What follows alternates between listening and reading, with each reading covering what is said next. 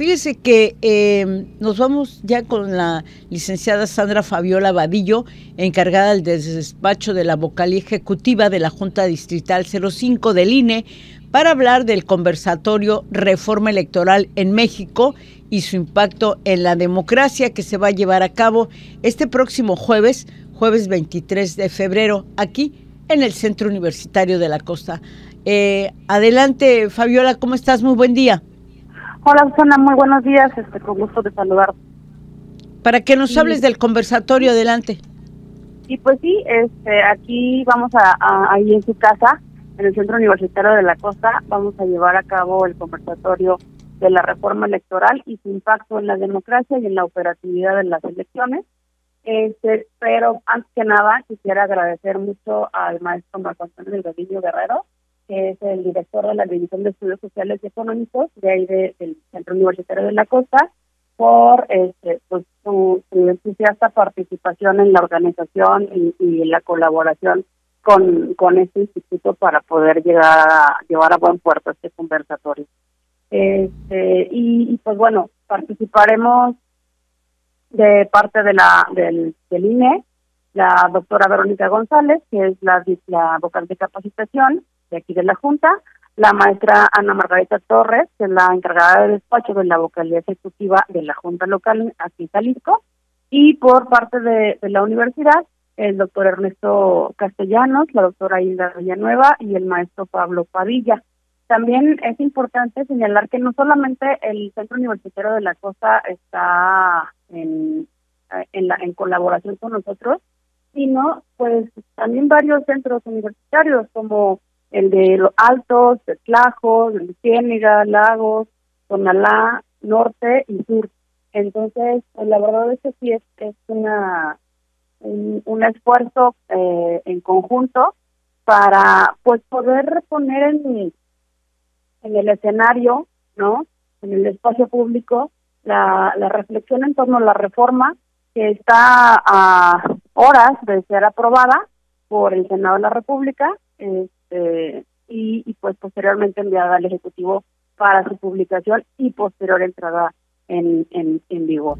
Pues vamos a estar muy pendiente, de hecho, este llamado Plan B de la reforma electoral del presidente Andrés Manuel López Obrador, pues está justamente en la mesa de la discusión en el Senado de la República. Hemos estado viendo muy de cerca, eh, pues, eh, las discusiones eh, también de eh, pues estamos eh, a la expectativa de si se concreta en su totalidad. Hay eh, algunas modificaciones legales también que se habla de propaganda gubernamental y algunos otros temas. ¿Tú qué nos puedes comentar? Has estado desde luego pendiente de, de todo esto. Así es, este, la, la ley de, comunicación ya se aprobó, de hecho está ya eh, tiene uh, acciones de constitucionalidad presentadas por las diferentes bancadas de diputados y senadores de la, de la oposición, eh, PAN, PRI, eh, PRD, eh, y bueno, pues ya está en manos de la Corte, pero sí este la, la el tema de la propaganda sí es, sí es un poco o mucho peligro, o sea, preocupante en el sentido de que eh, los los partidos los funcionarios públicos de acuerdo a la nueva ley, sí pueden eh, hacer uso de los en, en los tiempos, eh, digamos que hábiles, laborables, y el pueden hacer tipo de campaña o, o de posicionamientos sobre sus logros en, en el puesto que tienen para posteriormente pues posicionarse y poder ser candidatos probablemente, ¿no? Y eso pues desde hace un tiempo estaba superado con lo que establece el artículo 134 constitucional, pero bueno, ya la constitucionalidad o no de esa ley la determinará la Corte. Aquí lo, lo importante y lo que me gustaría también resaltar es que eh, después de que no prosperó la reforma constitucional en donde se eliminaba el INE como lo conocemos ahora, eh, el plan B, este denominado, modifica las leyes generales, la ley general de y procedimientos electorales, y pues bueno, o sea, desaparecen las 300 juntas distritales, nada más nada menos. Así es. Eh, ayer veíamos que las comisiones del Senado avalaban eh, justamente este plan B electoral, eh, como tú señalas, que ah, reduce las estructuras del Instituto Nacional Electoral y desaparecen las juntas ejecutivas estatales y distritales, pues entre otras cosas provocando el despido de personal del organismo, ¿no? Así es. Las juntas locales se mantienen, no solamente en lugar de que sean cinco vocales, son tres, pero las juntas distritales este, se, eliminan, se suprimen. No, no pudieron, se, mantienen las 300 porque eh, son siguen siendo 300 distritos electorales uninominales, es decir, sigue habiendo, seguirá habiendo un diputado por distrito. Aquí la cuestión es que eh, la Junta Distrital se, integra, por, por, ejemplo, cinco vocales de, del servicio profesional, ¿no?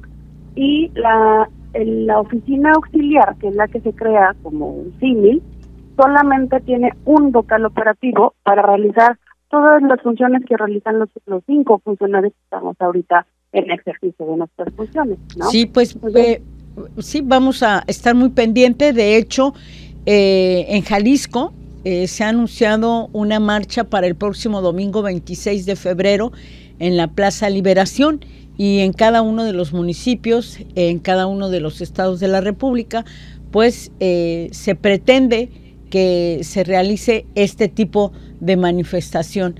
¿Algo más que nos quieras comentar? Según tengo entendido, en, eh, aquí en Puerto Vallarta también habrá una concentración en la Plaza Aquiles Cerdán, que mal no recuerdo es la eh, son los arcos del malecón.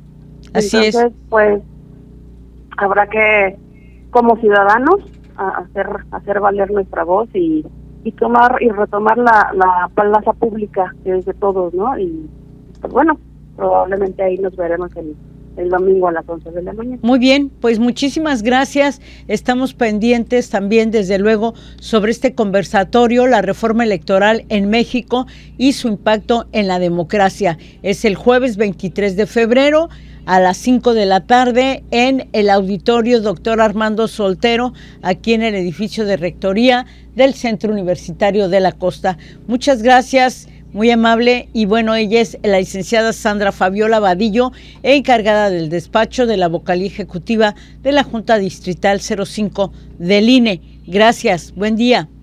Buenos días, hasta luego.